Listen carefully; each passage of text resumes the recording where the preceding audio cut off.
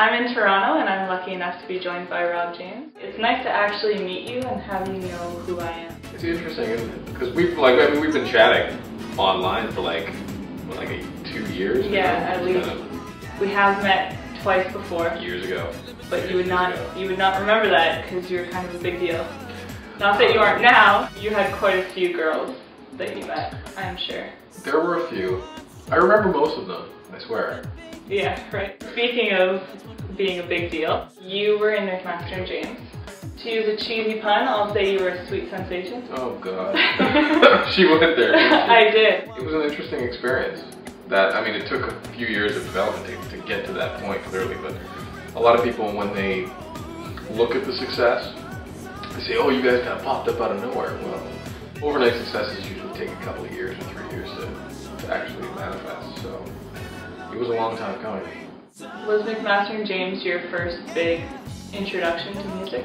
Yes, and definitely, you know, um, of the, the, the public arena. Um, my parents threw me in voice lessons when I was a kid, and then I ended up singing at a few weddings, and that kind of jump started the whole. As far as performing in front of large audiences, that kind of that kind of took the cake right there. I remember one show we did in Winnipeg, 87,000 people there. That's huge. Yeah, it was ridiculous. it's been so long since I've really done something that uh, massive. Yeah.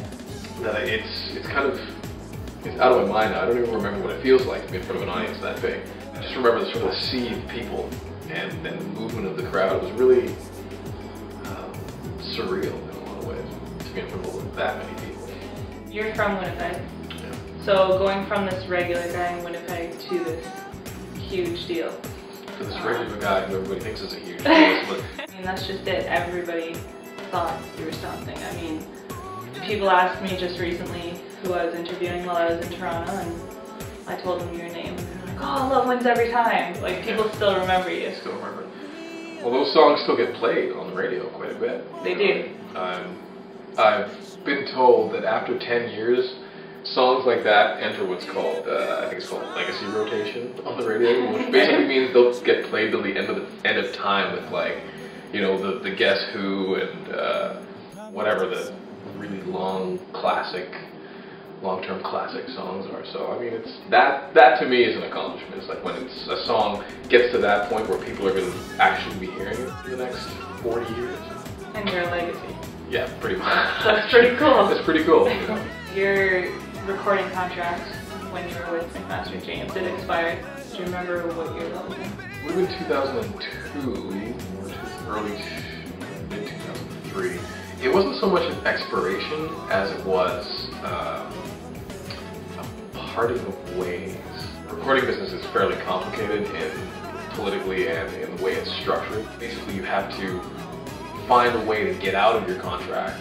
We were in a in a contract that you know you, you get one record and then we decide whether or not we want to do five more with you, you know, like one at a time. And they had decided to do the second one, but weren't ready to put out anything that we had actually sent to them. So it was this long, convoluted process where you know they have to decide whether or not they want to actually release the record. Went past, and then we had to apply to get out of the contract, and they have the right to keep us there. And it was a very, it's a very stressful time in uh, Sounds like it. in our musical history. Would you ever be in a band again? Yeah, yeah, I would. I mean, I'm working on some solo stuff right now. Hopefully, I'll get to the point where I'm, you know, back on the road and uh, got stuff on the radio. It's going in that direction right now. Won't be too long until I'm back on stage. Between 2002 2006, what were you up to? Various things. You know, when you go through um, kind of a big falling out like that with a record company, and you know, I was I was young at the time. I kind of came into the industry right out of high school, and things blew up for me fairly quickly. It was only a couple of years before you know we were touring with NSYNC and Christina Aguilera. It you know, it was, it was quick in that sense, but um, it fell just as quickly. So you go from nothing to high, then to back to low. It it, it seeds disenchantment in you. You're kind of like, I don't know if I want to do this anymore. Know, especially when you're that young. Luke McMaster was a little different because he had spent a lot more time kind of building his his trajectory into the business. He had done a couple of, he'd done a solo record, then he'd done something with another duo before, and he kind of had a longer trajectory going up. So his uh, disenchantment with the, with the business didn't come down as quickly as mine did. So I went through a period of complete, I don't want to do this. I'm going to go back to university. I'm going to get a real job. I'm going to be a regular guy. I bought a house and sort of chilled out in Winnipeg for a few years. And uh, everyone that I ran into, when they would ask me what I was doing, I was like, oh, I'm working here, I'm doing this and this, and I'm in university. Like, why? What's wrong with you? What, I mean, you, you've got all this behind you, you've clearly got, uh, you know, some something to offer, why aren't you doing it?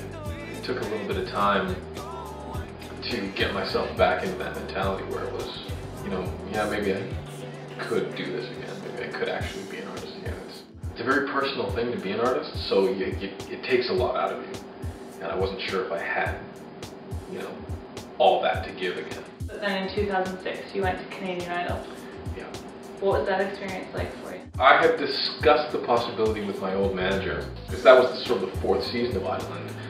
I was looking at it as, you know, a possible re-entry point just to test the water, see, you know, maybe you know, if people want to hear anything from me, then I'll do well. If not, then I'll just kind of fall by the wayside. And then I have my answer. I don't need to go through the personal struggle of trying to figure out whether I want or not I want to do this again. I talked to a few other people in the industry, and I, I got mixed reviews. Some people were like, yeah, you should definitely do it. Other people were like, no, no, no, you're going to hurt your credibility and all that. Meanwhile, credibility speaking, I was sitting in my basement recording demos for basically anybody that would come in the door in, in Winnipeg. So there wasn't really that credibility per se. I knew I wasn't working on a career, so I, I basically decided um, on my manager's, my old manager's advice to try the idol. Um, yeah, got fairly far. You got to the top seven, right? Yeah. yeah it, it surprised the crap out of me. Actually? Iowa has a very specific market group. You know, it's like young kids and their parents for the most part, especially in Canada. Like that's Yeah. kind of the, um, you know, there's there's a, some young adults and uh, in there as well, but it's it's not like a, a huge chunk of the market. So I was questioning whether or not, um, you know, I really appeal to that market. When we made top ten, I looked at the other people in the top ten, and out of the guys, there were five guys, clearly. Um, I was the only one over the age of 21. Everyone else, like Tyler, Chad, Craig, you know, all those guys were under. Well, Tyler was 20. He was the oldest of the bunch. I was 28 at the time. Yeah. So That's like the cutoff too, isn't it? Yeah. Okay. I was I was as old as I could possibly be. At least you went for it though. yeah, uh, there were a few reasons, a few personal reasons why I, uh, I went for it. Not even just to sort of figure out whether or not I was an artist, but I also felt the need to sort of see if I could get out of Winnipeg, you know, and, and try and push something uh, of a career somewhere else, like either Toronto or I was contemplating New York or Los Angeles, just literally getting up and moving and, and seeing what I could do. But it all depended on whether or not I could actually sustain some kind of, a, of an appeal. Idol was a really good way of testing that. Were there advantages or disadvantages to having already been famous and then coming to Canadian Idol? There were both. When I went in for the very first audition, you, you go through you know two people before you get to the executive producer or the producer on site, and uh, a guy named Mark, really good guy, and honestly, uh, he recognized me from the Christina Aguilera tour because Okay. he was uh, he was somehow involved in the crew or managing the whole thing. He he stopped me. I go through the process. You all sing, and then he you know say you stay, you stay, and out of the there was six people in my group. I was the only one that he asked to stay. And he's like, I'm just gonna get you to sing again, and that's, and they were all filing out. As soon as the door closed, he's like, okay, I don't really need to hear you sing again because I've seen you sing. I saw you on stage, you know, with Christina and and the whole thing. I just need to ask you a question. What are you doing here?